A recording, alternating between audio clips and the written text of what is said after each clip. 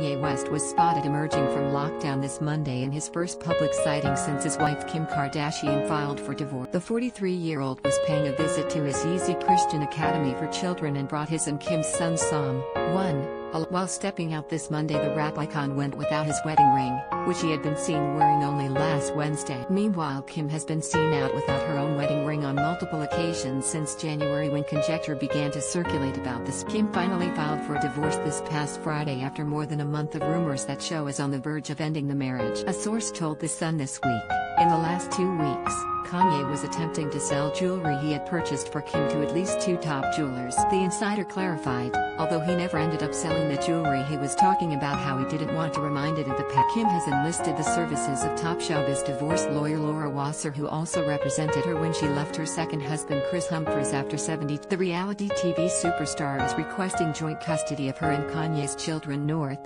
7, Saint, 5, Chicago, 3, and Psalm. Both parents are amenable to the idea of split custody, they are both willing to let their prenuptial agreement stand and the property settlement is well on its way to being sorted out. TMZ Kim is allegedly worth about $780 million according to a Forbes estimate last October, and the same magazine reported last week that Kanye is worth 3 billion.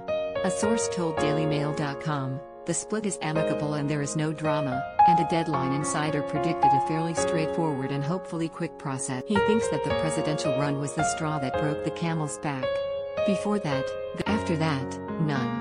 It cost him his marriage, a source told People.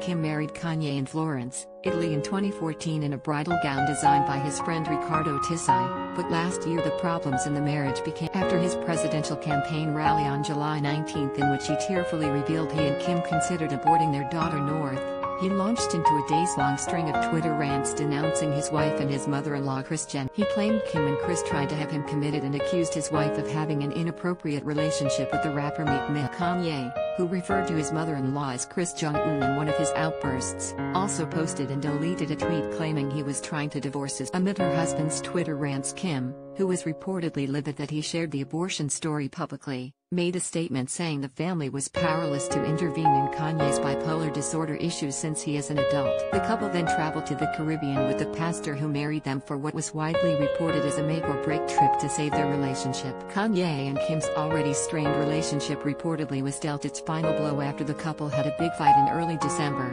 an insider told us.